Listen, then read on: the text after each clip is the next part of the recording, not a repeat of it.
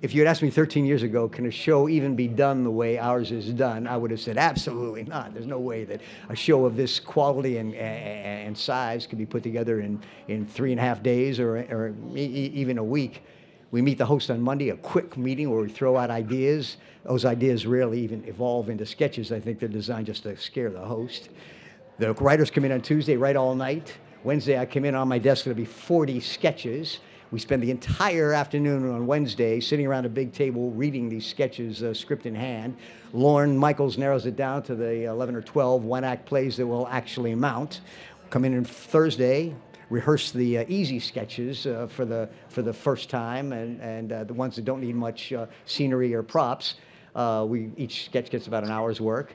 Come back in Friday, rehearse the rest of, of, of those sketches and uh, the guest band gets one quick run through of their songs. We rehearse the uh, um, cold open or and or the monologue late uh, late Friday night.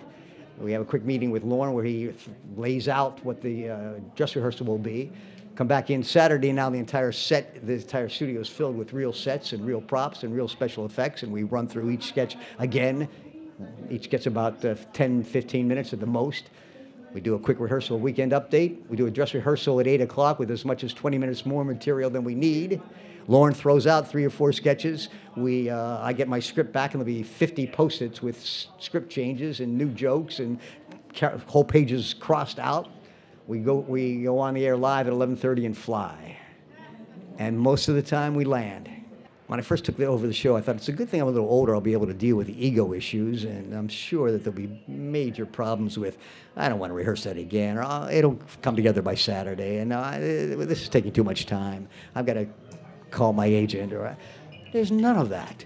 None of that. Every single host comes to play yeah, the cast members, it's just fun to be there. Our purpose is to make people laugh and clap and think, and putting that all together with the brilliance that surrounds us all makes it uh, magical and magical every single week.